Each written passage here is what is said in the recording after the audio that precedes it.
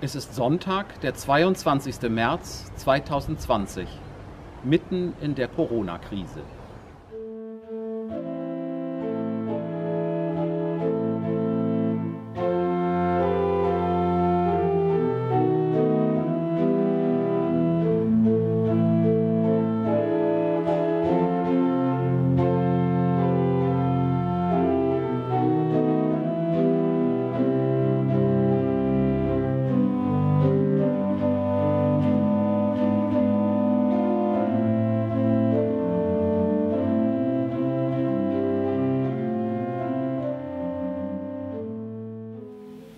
Im Namen des Vaters und des Sohnes und des Heiligen Geistes.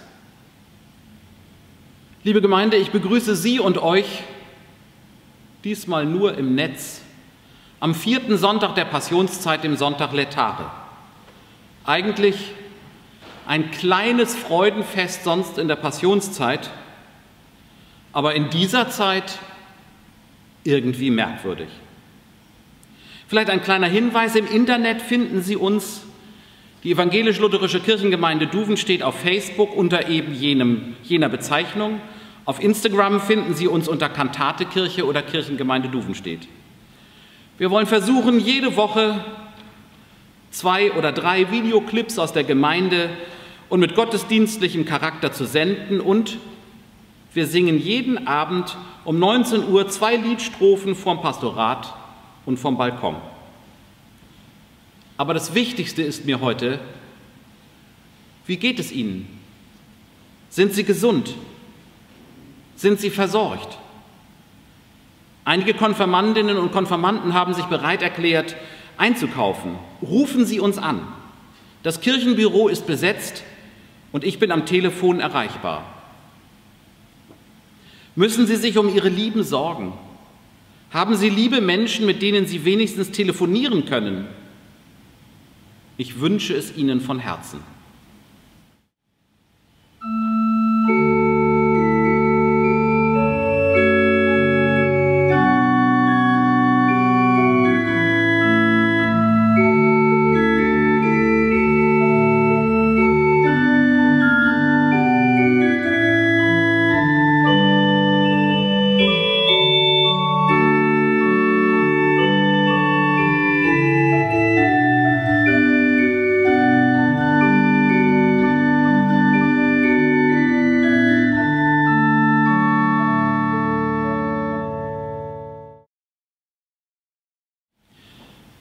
Wir beten gemeinsam Psalm 23.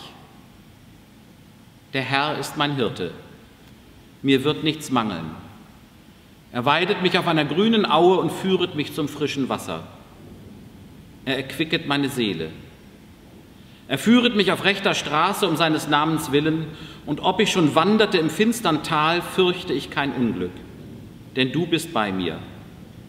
Dein Stecken und Stab trösten mich. Du bereitest vor mir einen Tisch im Angesicht meiner Feinde. Du salbest mein Haupt mit Öl und schenkest mir voll ein. Gutes und Barmherzigkeit werden mir folgen mein Leben lang, und ich werde bleiben im Hause des Herrn immer da. Herr, erbarme dich. Christus, erbarme dich. Herr, erbarme dich.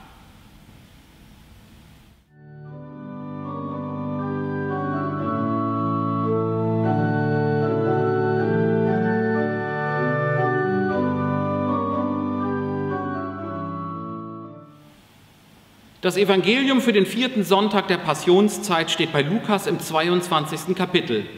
Ich lese in einer neueren Übersetzung.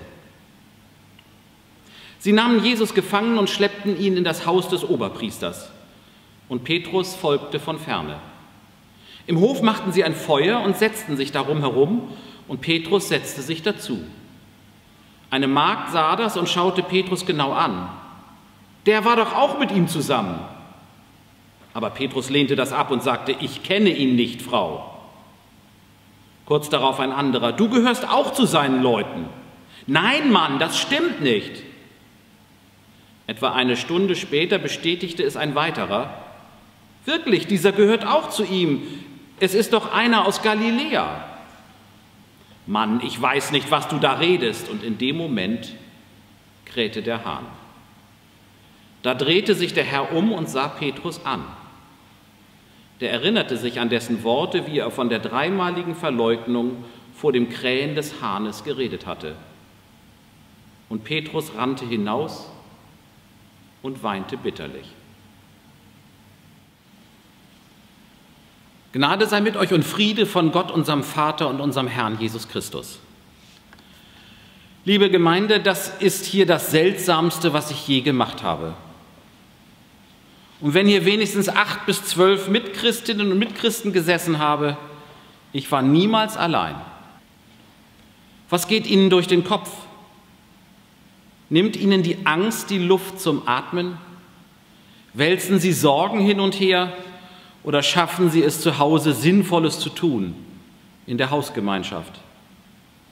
Gelingt es Ihnen darüber hinaus, über Telefon oder das Netz Kontakt zu denen zu halten, die Sie nicht mehr treffen dürfen? Ich wünsche es Ihnen sehr. Nur eine Bitte habe ich. Verstehen Sie die staatlichen Anordnungen nicht als Beschränkung Ihrer Freiheit, sondern als notwendige Maßnahmen unserer demokratisch gewählten Regierungen zum Schutz der Bevölkerung. Zu Klopapier und Desinfektionsmitteln sage ich jetzt mal nichts. Ganz gleich, wie es uns zurzeit geht, wie wir drauf sind, ob uns alles egal ist, ob wir vor Grübeln vergehen, wir merken schmerzlich, wie verletzlich, wie gefährdet unser Leben, unsere Beziehungen, unsere Lebensart, unser Lebensstandard ist. Und was bedeutet das für meinen Glauben? Zerbröselt der gerade? Gott meint es doch gut mit uns. Du musst nur beten. Am Ende wird alles gut. Mach dir nicht so einen Kopf. Solche Sprüche helfen mir zurzeit im Moment nicht. Was mir hilft, ist mitzuerleben, wie Petrus auf ganzer Linie versagt, schmerzlich versagt, so sehr, dass Jesus voller Traurigkeit ist. Ich bin mit meiner Verletzlichkeit und meinem Scheitern nicht allein. Ich bin nicht der Einzige, der Angst hat. Und du musst es auch nicht sein. Und wenn dir etwas zustößt, du bist nicht verloren. Gott hebt dich auf. Und wenn du versagst, wenn du einen Fehler machst, Gott sieht dich trotzdem und verurteilt dich nicht. Das ist die Hoffnung, von der ich lebe von der Sie auch leben sollen. Haben Sie keine Angst vorm Scheitern, aber seien Sie nicht ignorant. Haben Sie keine Angst vor Versagen, aber geben Sie es auch zu, wenn es passiert ist. Petrus durfte trotzdem der Namenspatron der großen Kirche in Rom werden und in den volkstümlichen Gedanken der Träger des Schlüssels im Himmel. Unsere Verletzlichkeit, unsere Fehlbarkeit ist Bestandteil unserer Menschlichkeit. Und Gott nimmt sich dieser Verletzlichkeit und Fehlbarkeit an. Gott beseitigt das alles nicht. Es gehört zur Schöpfung und macht uns zu dem, was wir sind, auch wenn es weh tut. Aber Gott hält sich nicht raus. Das ist für mich die zentrale Botschaft. Gott ist einer von uns wie wir, für uns. Ostern wird wahrscheinlich in diesem Jahr 2020 etwas merkwürdig verlaufen, aber die Botschaft soll nicht ungehört verhallen. In einer Zeit, in der niemand voraussagen kann, was wird, wünsche ich euch, dass ihr schöne Momente erlebt, euch von der Angst nicht runtermachen lasst, Vernunft walten lasst nicht aufhört, mit Gott zu reden und zuversichtlich bleibt, mögt ihr und eure Lieben behütet bleiben. Amen.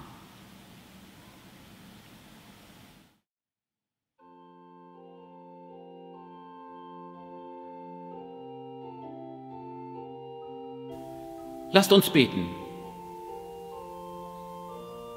Großer Gott, Wir tragen dir unsere Sorgen vor. Wir wissen nicht, wie es weitergeht. Wir sind ratlos. Viele von uns haben Angst. Wir bitten dich, komm zu uns mit deinem guten Geist und tröste uns.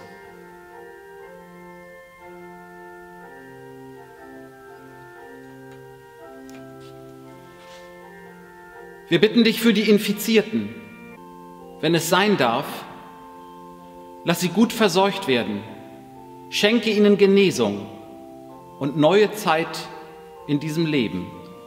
Wir rufen zu dir, Herr, erbarme dich.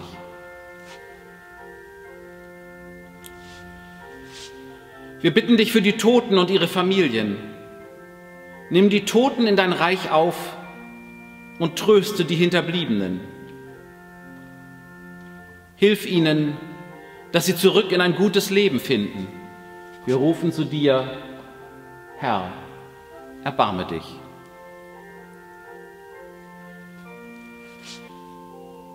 Wir bitten dich für alle, die im Medizinbereich tätig sind und mit ihrer ganzen Kraft sich für ihre Mitmenschen einsetzen. Hilf, dass ihnen niemand Steine in den Weg legt, sondern dass sie unterstützt werden. Hilf, dass ihr Wirken Erfolg habe, dass sie Menschen retten können und dass sie nicht zusammenbrechen. Schenke du ihnen Kraft. Wir rufen zu dir, Herr, erbarme dich. Wir bitten dich für diejenigen, die an verantwortlicher Stelle zu entscheiden haben, stellvertretend für uns. Gib ihnen Weisheit und guten Geist, dass sie das Richtige bewirken und helfen, dass diese Krise überwunden werde. Wir rufen zu dir, Herr, erbarme dich.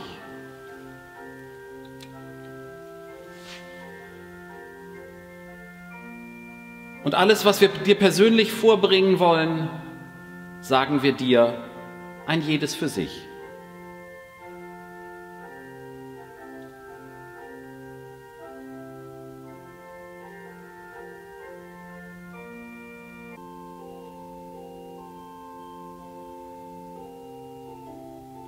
Wir rufen zu dir, Herr, erbarme dich.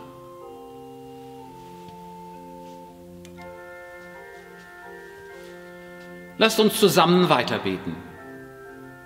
Vater unser im Himmel, geheiligt werde dein Name, dein Reich komme, dein Wille geschehe, wie im Himmel, so auf Erden.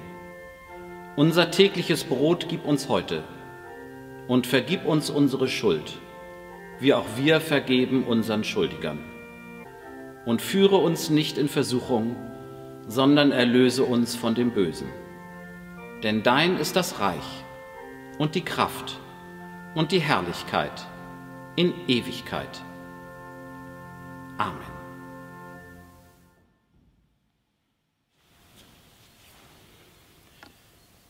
Gott segne dich und behüte dich. Gott lasse sein Angesicht leuchten über dir und sei dir gnädig. Gott erhebe das Angesicht auf dich und schenke dir Frieden. Amen. Für die Schlussmusik bedanken wir uns bei Helke Kattner und ich verabschiede mich für heute und wünsche euch in schwieriger Zeit alles, alles Gute. Jeden Tag wird's geschehen, dass Segen dir